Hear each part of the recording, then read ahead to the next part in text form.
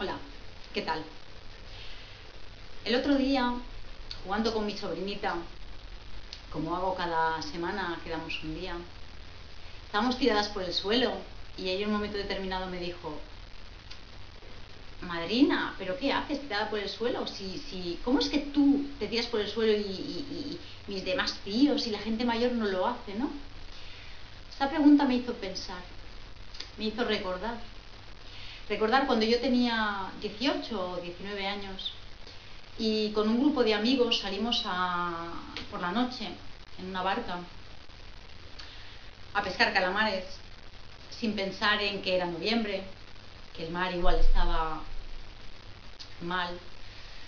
Y esa noche eh, salimos con la barca, llevábamos una barca estirándola con un hilo y en un momento determinado nos dimos cuenta de que la mar estaba muy mal, pero muy mal.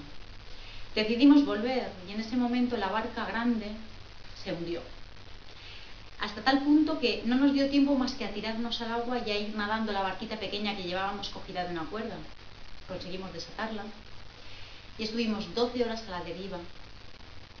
Después de 12 horas de pasarlo fatal, de estar toda la noche sacando agua, de pensar incluso que ese sería el último día de nuestras vidas, de asumir nuestra muerte. Ese día me di cuenta de algo.